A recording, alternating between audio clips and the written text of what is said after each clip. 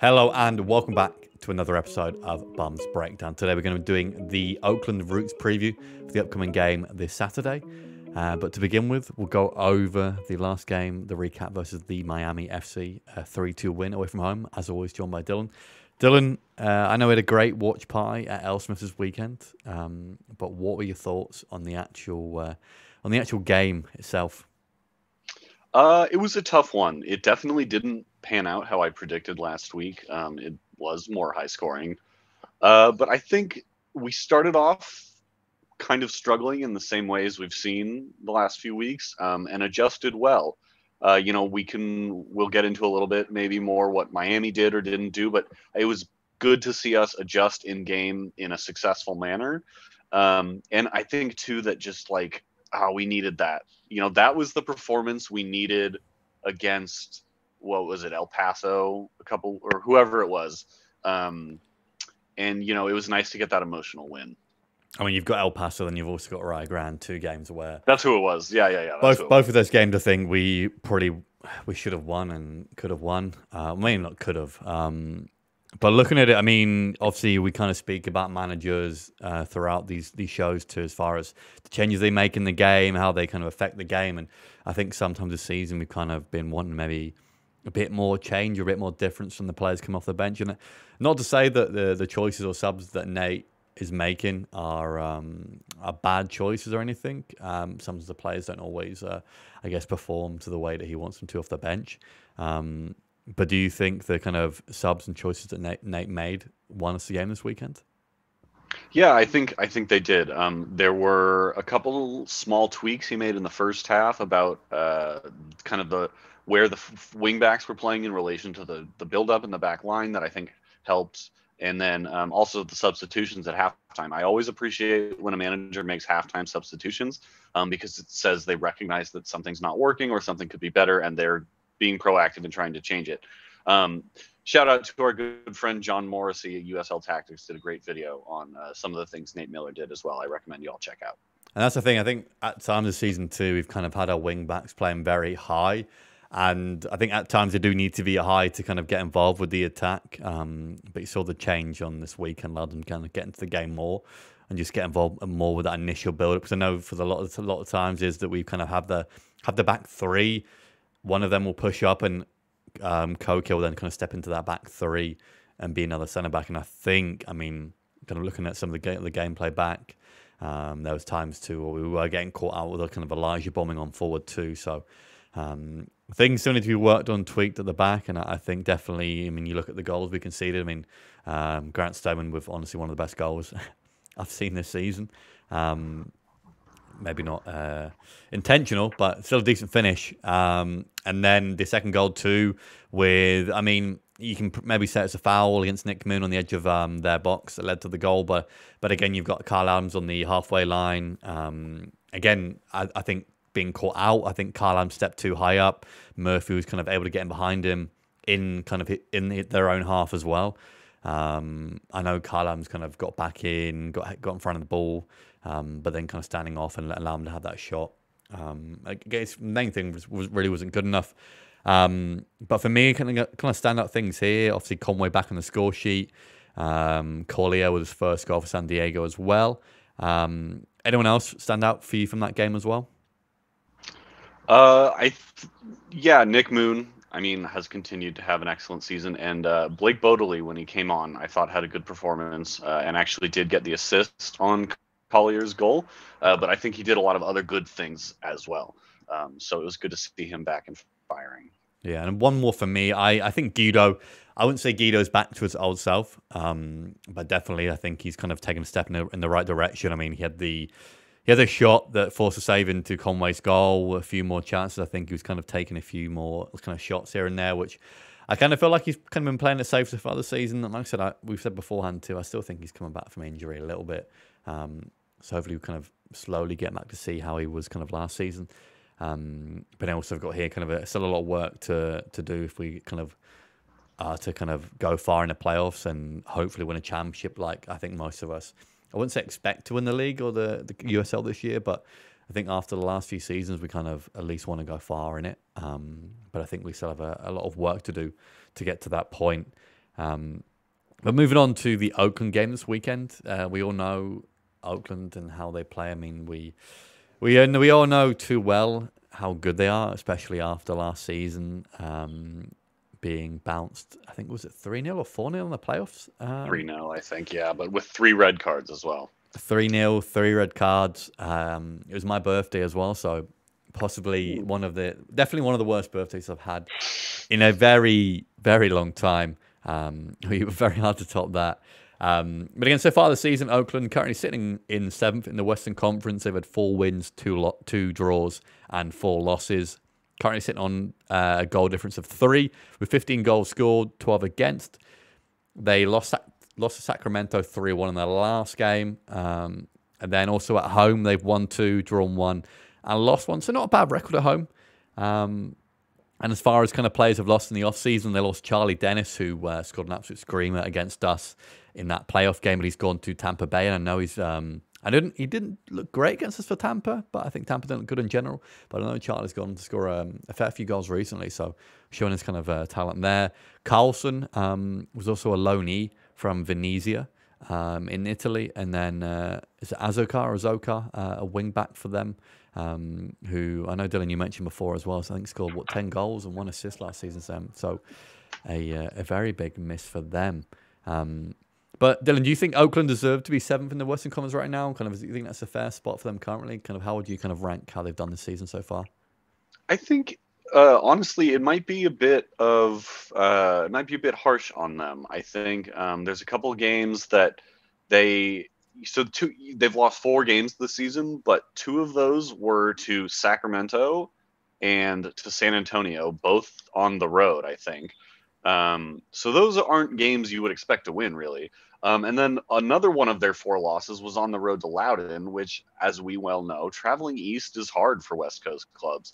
Um, so I think that like lower on the table, four losses is absolutely a little bit deceptive, um, especially when you look at some of the XG data that um, has been posted recently on Twitter. Um, Oakland are one of the best teams in the league as far as chance creation.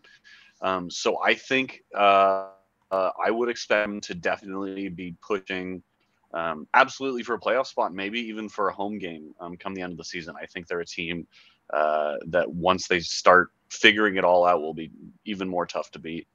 Yeah, I mean, looking at the table here, you kind of look at all the teams above them. That's the Western Conference this year is absolutely stacked. I think I know obviously now the Eastern Conference isn't too bad. Um, if you look at the Western Conference, I mean, I mean, they're in seventh right now, but below you've got New Mexico United, Monterey Bay, RGV, who um, we all know are, aren't, aren't, too bad this season.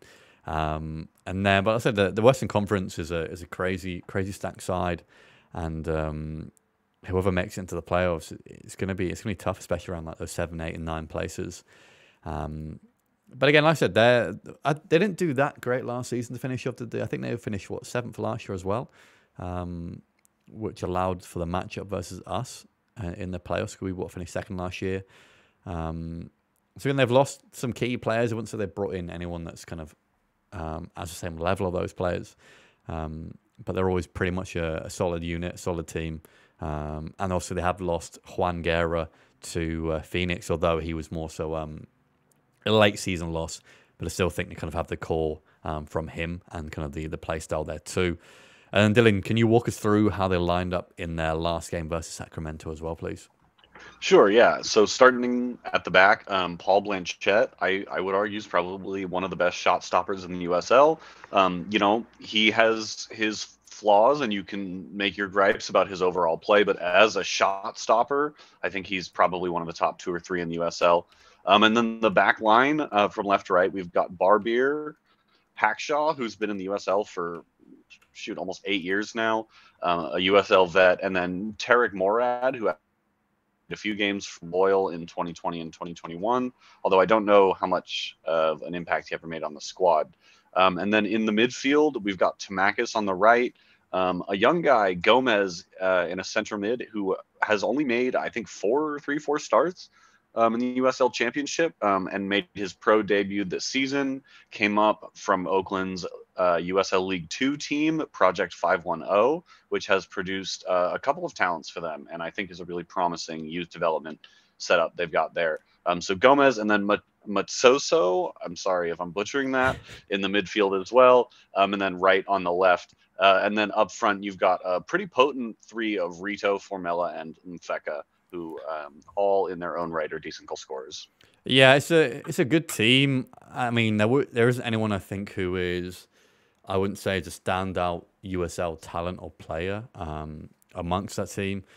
I think Blanchette, honestly, the the guy against us in the playoffs, um, on his head. He was had an unreal game that game.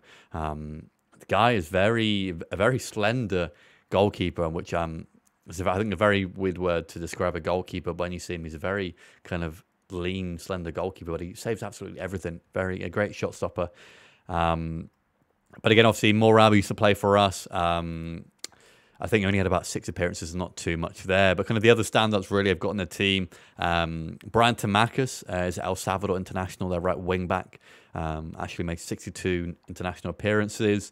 Kevin Wright, their other wing back, the left wing back, who's a Sierra Leone international, um, originally born in England, but also came through the Chelsea academy and then Neveal Hackshaw, um, the centre back who has been in, been in the USL for a while now, used to play for Indy 11. I believe you've made around 88 appearances for Indy 11, so um, a lot for them. And obviously, Indy have always been kind of a an Eastern Conference powerhouse there. Um, and uh, I know if I touched on that already, but yeah, Trinidad and Tobago international too. So a lot of uh, a lot of international players there, a lot of um, different nationalities, a very kind of mixed squad.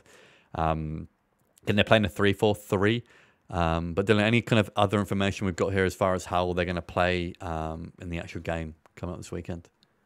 Uh, yeah, so they um, they play a 3-4-3, 3-4-2-1 kind of setup um, that you'll see a lot these days. I think that's kind of um, you know like a formation du jour these days. But uh, they play. Uh, they really like to dominate the wide spaces. Their central midfielders will move wide sometimes, especially Gomez. Um, created a lot of chances for them against Birmingham, a road game that they won four to one impressively. Um, so expect to see them try and do overlaps and wide overloads. Um, and I did also want to add real quick um, that uh, Neveal Hackshaw, though I don't think he played. Oh no, actually I was wrong. I was going to say he was on that squad in 2017 that beat the U.S. Uh, but never mind. I was mistaken thinking of somebody else. Um, but uh, anyway, um, yeah. So they uh, definitely will press high um, and look to dominate the wide spaces. Yeah, I also got. I mean, they they're going to push up higher, so they, they do play. I mean, a three-four-three, but at times can almost look like a uh, a three-two-five with those two fullbacks kind of pushing on very high up the field, um, and the centre backs do kind of create a very high line and play kind of very aggressive up the field. So, again, I guess kind of a, an area for us to kind of look to kind of counter upon. Uh, I think our counter attacks this year haven't been great as far as especially the way we build up and play very slowly and kind of um, very safe. Don't look to play kind of many through balls over the top. So um, maybe it could be a game for Damus to to get behind and uh, and exploit the back line. Then moving to how we will line up. I will say we are getting very very close. We're still yet to get a correct start eleven. Um, and I honestly wonder what the odds will be on us ever getting a correct starting 11 um, this season. But Dylan, we'll go into keeper and back three because I think it's going to be the easiest. I think. Um, but keeper back three, who would you go with here? Yeah, so we're definitely getting closer, um, but being exactly one player in position away uh, against Miami, I think might be the closest we're going to get. And now that the squad's started to get healthy, I think it's going to get more difficult. But anyway, um, for the back line, uh, Koke in net, um, he's been great so far this season. Um, I don't think there's hardly been any of the goals we've conceded have really been his fault. Um, so that's been great. Uh, Kyle Adams has to be in there um, just because we're missing people in the back line and he's obviously one of our better defenders. Um, Stoneman, I'm a little unsure about. He came off at halftime against Miami. Um, it's hard to say whether he was injured or just not playing well or if it was more of a tactical thing. Um, but I think, hope he'll be back. So I'm going to go with Stoneman um, and then Elijah as well in the back line uh, because I just think, you know, for now, unless we bring somebody else in, I think he's our he's the best person for that spot. Yeah, I, I think I'd agree with you there. I think the the only kind of I guess if he won there, really is going to be Stoneman as far as um, if it was kind of more of a tactical decision or an injury. I think more so injury. I know he did get kind of a, a pretty hard kick to the ankle um, on the weekend, but we'll see if he's back for that game. Um, but yeah, back three. I mean, we've kind of thrown Simba in and around there. Camden Riley too. I know Camden came on for um, Stoneman on the weekend, so maybe if Stoneman's out, then Riley comes in. Um, like I said we always. I think we say this every week as far as we think Simba should be playing more, but again, it's it's one of them. And obviously, Nate's got his favourites. He knows who's kind of suited to there. Um, although I'm, I'm, I guess at times I'm a little worried too that I think Simba maybe get frustrated too that he's not getting enough game time, and I do think he could start a, a decent amount of USL clubs um, in the league too. And then moving into the midfield, um, we'll go wing backs to begin with. Obviously, start with Perez and Nick Moon in the last game. Do you think we stick with those two, or do you think Bodily comes back in after um, a fairly decent substitute appearance on the weekend? Yeah, I, I do think Bodily comes back in. Um, that assist was obviously key, but like I said earlier, he had some great moments outside of that.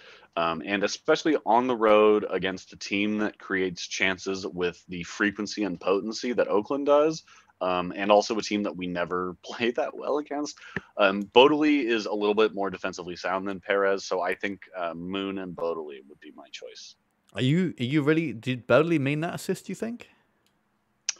Um, I don't think he necessarily was trying to pick out Elliot Collier, but I do think he meant to cut it back to that space between uh, like the top of the six in the penalty box. Yeah, I do. Okay. I it looked like a bit of a shot to me that just went astray, but um, we'll, we'll, give him the assist for that. But yeah, I think you're spot on there too, as far as kind of a, a more defensive-minded um, fullback in Miami. We probably wanted to get a bit more attacking, um, get on the back foot. So Perez was kind of uh, favoured there, but I think having Bodily in there will um, will suit us well. And like I said, there we never do well against Oakland, so it's uh, it's always going to be a tough one playing away there. Into the midfield, do you think we go with a two or a three here? Um, I think this is really the tough one as far as we go to a midfield two in the front three or midfield three in the front two. I, as always, it'll probably be somewhere in between. Um, but I think uh, as Charlie is still out as far as we know, so um, I expect that Corona and Martin will be in there, and then um, Guido, like you said earlier, probably had his best game of the season. So um, yeah, midfield three with Guido getting forward, kind of a, a flex three-two kind of midfield. Yeah, it's more of a, a 2.5, 2.5 either way. Guido in that little kind of hole. And then I think we, we're getting to a point now. I think for a for a portion, we were kind of getting pretty comfortable as far as the attack goes. The front two was fairly kind of it worked itself out.